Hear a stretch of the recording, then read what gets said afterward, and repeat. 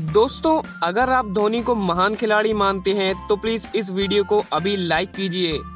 दोस्तों world cup 2019 के लिए एम एस धोनी ने बीसीसीआई पर सीधा निशाना साधते हुए यह कहा है कि युवराज सिंह को भी 2019 के वर्ल्ड कप में ज़रूर मौका मिलना चाहिए।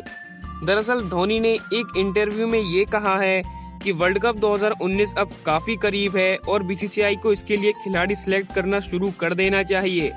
बीसीसीआई को वर्ल्ड कप के लिए युवराज सिंह को ज़रूर शामिल करना चाहिए, क्योंकि वो काफ़ी एक्सपीरियंस खिलाड़ी हैं और 2007 और 11 का वर्ल्ड कप जिताने में भी यूवी की अहम भूमिका रही है।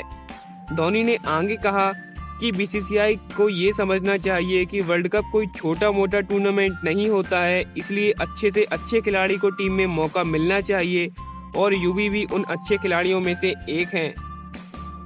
तो दोस्तों, धोनी ने तो ये बता दिया है कि वो युवराज सिंह को वर्ल्ड कप 2019 में खिलाना चाहते हैं। अब आपको क्या लगता है, क्या धोनी ने ये सही कहा है कि युवराज को वर्ल्ड कप खिलाना चाहिए या नहीं? नीचे कमेंट करके ज़रूर बताइए।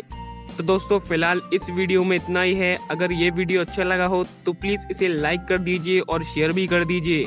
और क्रिकेट से जुड़ी और भी न्यूज़ पाने के लिए हमारे चैनल को भी आप अभी सब्सक्राइब कर लीजिए। और उसके बगल में जो बेल आइकन है, उसे भी ध्यान से दबा दीजिए, जिससे कि मैं जो भी नई वीडियोस डालूँगा तो उसकी नोटिफिकेशन सबसे पहले आप तक पहुँच पाएगी और आप उस वीडियो को देख पाएँगे। तब तक के लिए दोस्तों, हँसते रहिए। Bye bye